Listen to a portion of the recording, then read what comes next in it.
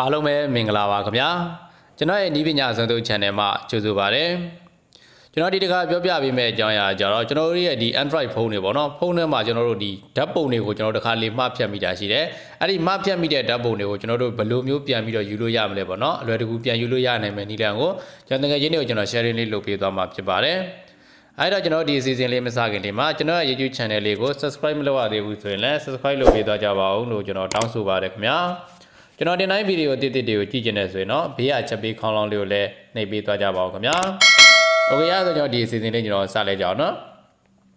အဲ့တော့ကျွန်တော်တို့ဒီ software ရအောင်เนาะသုံးပြရမယ့် software ကျွန်တော်မှာဒီ disk sticker ဆိုတဲ့ software ပါအဲ့ဒီ software ကကျွန်တော်ကျွန်တော်ဒီ Play Store မှာလည်း download ဆွဲလို့ရတယ်တကယ်လို့အဲ့ဒီမှာမဆွဲချင်ဘူးဆိုရင်လည်းကျွန်တော်ရဲ့ဒီ video အောက်က video description မှာကျွန်တော် download link ကိုကျွန်တော်ချပေးထားမှာဖြစ်ပါတယ်အဲ့မှာတကယ်လို့လိုအပ်လို့ရှိရင်အဲ့မှာသွားဆွဲလိုက်ပါเนาะ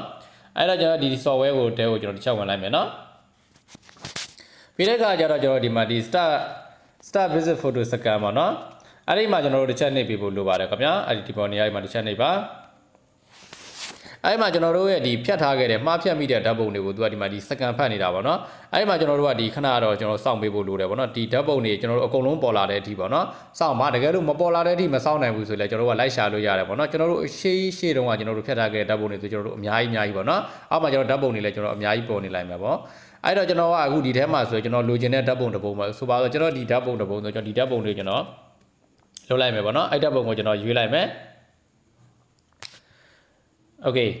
အဲ့ဓာတ်ပုံကိုကျွန်တော်ရွေးပြီးသွားတဲ့အခါကျရင်ကျွန်တော်ကဒီမှာဒီ recovery ဆိုတဲ့နေရာမှာတစ်ချက်နေလိုက်ပါခင်ဗျာအဲ့မှာကျတော့ကျွန်တော်ဒီဓာတ်ပုံကိုကျွန်တော်ဘယ်နေရာမှာစိတ်မလဲပေါ့နော်ဒီအပေါ်ကဒီတင်တိုင်းပုံစံလေးကကျတော့ကျွန်တော်ဒီ Google Drive တို့ဘာတို့ပေါ့နော် Dropbox တို့ email တို့เนาะအဲ့ဒီမှာကျွန်တော်တို့ဒီတက်ပြီးတော့သွားသိမ်းနေတယ်ဆိုရင်အဲ့ဒီမှာနှိပ်လို့ရတယ် ဒါမှမဟုတ်လို့ရှိရင်ကျွန်တော်ကဒီ save set the file to custom location ပေါ့နော်အဲ့ဒါတွေကကြတော့ကျွန်တော်တို့ရဲ့ဒီ SD card သို့မဟုတ်ရင် memory ပေါ့နော်ဟိုဟာ memory card ဟိုဟာဒါမှမဟုတ်ကျွန်တော်ဒီ internet store ပေါ့နော်အဲ့ဒီထဲမှာကျွန်တော်သွားသိမ်းမယ်ဆိုလို့ရင်ကျွန်တော်ဒီအလဲအားနေရာမှာနှိပ်လိုက်ပါဟုတ်အဲ့တော့အပေါ်ကနှစ်ခုကကြတော့ကျွန်တော်တို့အဲ့ဒီမှာဒီ online မှာကျွန်တော်တက်ပြီးတော့သိမ်းလို့ရတယ်ဒါမှမဟုတ်လို့ရှိရင်ကျွန်တော်တို့ဒီ file ထဲမှာသိမ်းတာပေါ့နော်အဲ့တော့ကျွန်တော်ကအခုနှစ်မျိုးလုံးကိုကျွန်တော်သိမ်းပြပေးမယ်ပေါ့နော်ဒီပထမအချက်ကကြတော့ကျွန်တော်ဒီ save file ထဲမှာကျွန်တော်ချိန်နေလိုက်မယ်ပြီးတဲ့အခါကျတော့ကျွန်တော်တို့ရဲ့ဒီ file ပေါ့နော်ကျွန်တော်ဒီမှာရွေးလို့ရတယ်ပေါ့နော်ကျွန်တော်တို့သိချင်တာကျွန်တော် SD ကမှာသိမ်းပါလားဒါမှမဟုတ်လို့ရှိရင်ကျွန်တော်ဒီ internet memory မှာသိမ်းမလားပေါ့နော်အဲကိုသိချင်တဲ့နေရာကိုကျွန်တော်ရွေးလိုက်ပါကျွန်တော်ကကျတော့အခုလောလောဆယ်ကျွန်တော် SD ကကိုပဲကျွန်တော်သိမ်းမှာဖြစ်တဲ့အတွက်ကျွန်တော်ဒီ SD ကမှာပဲနှိပ်လိုက်မယ်အဲ့မှာကိုသိချင်တဲ့ file ကိုကျွန်တော်တို့ရွေးလိုက်ပါနော်ကိုသိချင်တဲ့ file ဆိုရင်ကျွန်တော်တို့ဒီမှာဒီထဲမှာတစ်ချက်ကြည့်ကြည့်လိုက်မယ်နော်ဒါမှဆိုကျွန်တော်ဘာမှမရှိဘူးပေါ့နော်ဘာမှမရှိတဲ့ file မှာကျွန်တော်သိမ်းပြပေးမယ်အဲ့ဒီ file ကိုကျွန်တော်ရွေးပြီးသွားတဲ့ခါကျရင်ကျွန်တော်ဒီအောက်ကကျွန်တော်ရွေးရဆိုတဲ့နေရာလေးမှာနှိပ်လိုက်ပါခင်ဗျာ โอเคရဆိုကျွန်တော်တို့ရဲ့ဒီ file ကိုသူသွားပြီးချက်သိမ်းနေပြီเนาะအဲ့တော့ကျွန်တော်တစ်ချက်လောက်သွားကြည့်ကြည့်လိုက်အောင်အဲကျွန်တော်ဒီ gallery တွေကိုတစ်ချက်ဝင်မယ်ပြီးတဲ့အခါကျတော့ကျွန်တော်တို့ file ကိုဓာတ်ပုံကိုသွားကြည့်လိုက်ပါเนาะโอเคဒါဆိုရင်ကျွန်တော်တို့ခုနကဒီမှာကျွန်တော်စိတ်သိမ်းလိုက်တဲ့ပုံကဒီထဲကိုကျွန်တော်ရောက်ရှိလာခဲ့ပြီဖြစ်ပါတယ်အဲ့ဒါကျတော့ကျွန်တော်တို့ဒီကျွန်တော်တို့ရဲ့ဒီ SD card တွေကိုသိမ်းပြီးတော့ထည့်ပြန်ထည့်တဲ့နည်းပေါ့เนาะ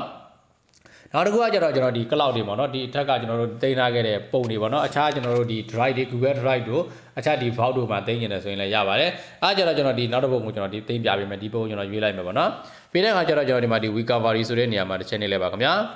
ပြီးတော့ကျွန်တော်ဒီအပေါ်နေရာတိတ်တိတ်တိုင်းလေးပေါ့နော်အဲ cloud တစ်ခုမှာကျွန်တော်ရွေးလိုက်ပါအဲ့မှာကျတော့ကျွန်တော်တို့ဘယ်ဟာကိုကျွန်တော်တို့ရွေးမလဲဆိုတော့မေးရတယ်ပေါ့နော်အဲ့တော့ကျွန်တော်ကဗမာသိမ်းမလဲဆိုလို့ရှိရင်ကျွန်တော်ဒီ box software ထဲမှာကျွန်တော်သိမ်းလိုက်မယ်နော်ဘောက်ကိုတစ်ချက်နှိပ်လိုက်ပါ โอเคပြီးတဲ့အခါကျတော့ကျွန်တော်တို့ကဒီမှာဒီကျွန်တော်ဒီဘယ်မှာသိမ့်မလဲကျွန်တော် file တစ်ခုကျွန်တော်ရွေးလိုက်မယ်ပေါ့နော်ဒီမှာတစ်ခုအသစ်လုပ်လိုက်မယ်အဲဒီမှာကျွန်တော်ကကျွန်တော်ဒီ new လို့ပေးလိုက်မယ်နော်ပြီးတဲ့အခါကျကျွန်တော်မှာ create ဆိုတာနှိပ်ပေးလိုက်ပါ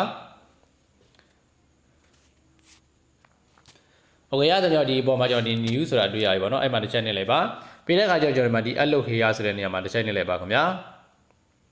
โอเคရဆိုလို့ရှိရင်ကျွန်တော်တို့ရဲ့ဒီပုံကိုကျွန်တော်ဒီကောက်မှာသတ်သိမ်းပြီပေါ့နော်အဲ့ဒါကျွန်တော်တစ်ချက်လောက်သွားကြည့်ကြည့်အောင် အဲ့တော့ကြောင့်ဒီမှာဒီ box software တော့ကျွန်တော်တစ်ချက်ဝင်နိုင်မှာပါနော်ပြီးတဲ့အခါကျတော့ကျွန်တော်ဒီ new ဆိုတဲ့နေရာကျွန်တော်ချက်သွားကြည့်ကြည့်လိုက်မယ်ဒါဆိုရင်ကျွန်တော်တို့ရဲ့ပုံမှာခုပုံမှာဒီထက်ကိုကျွန်တော်ရောက်ရှိလာခဲ့ပြီဖြစ်ပါတယ်။အဲ့ဒါကြတော့ကျွန်တော်တို့ရဲ့ဒီပြတ်သွားတဲ့ဓာတ်ပုံတွေကိုကျွန်တော်တို့အလွယ်တကူနဲ့ပြန်ယူလို့ရနိုင်မယ်နည်းလမ်းပေါ့နော်။အဲ့တော့တကယ်ချင်းတို့အားလုံးလည်းပဲအဆင်ပြေမယ်လို့ကျွန်တော်ထင်ပါတယ်ခင်ဗျာ။ကျွန်တော်ရဲ့ဗီဒီယိုလေးကိုခုလိုကြည့်ရှုအားပေးမှုတွေကျွန်တော်အထူးပဲကျေးဇူးတင်ရှိပါတယ်ခင်ဗျာ။ကျွန်တော်ရဲ့ YouTube channel လေးကို subscribe မလုပ်ရသေးဘူးဆိုရင်လည်း subscribe လုပ်ပေးသွားကြပါဦးလို့ကျွန်တော်တောင်းဆိုပါတယ်ခင်ဗျာ။ ကျွန်တော်တင်တိုင်းဗီဒီယိုအသစ်သစ်တွေကိုကြည့်ကျင်နေဆိုရင်တော့ဘေးကချက်ပေးခေါင်းလောင်းလေးကိုလည်းနှိပ်ပေးသွားကြပါဦးခင်ဗျာနောက်ထောင်ပေးတဲ့အတွက်ကျေးဇူးပါ good luck bye bye